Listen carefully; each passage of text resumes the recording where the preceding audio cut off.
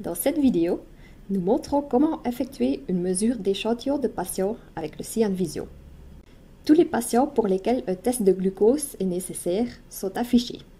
Sélectionnez le patient pour lequel vous voulez commencer le test de glucose maintenant. Si vous recevez de nouveaux échantillons de patients qui nécessitent aussi un test de glucose, vous pouvez encore les inclure en appuyant sur le bouton Ajouter.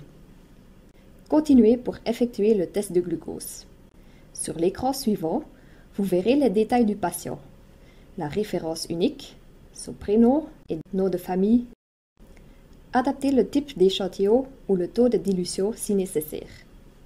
Appuyez sur Aspirer pour automatiquement démarrer la mesure.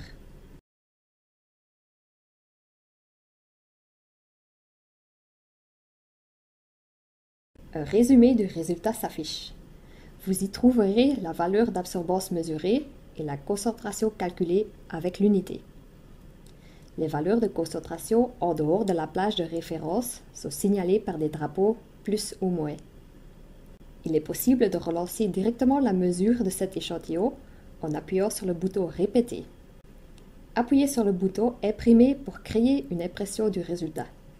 Nous recommandons de regrouper les mesures par analyte. Il est donc préférable de procéder maintenant à tous les autres tests de glucose.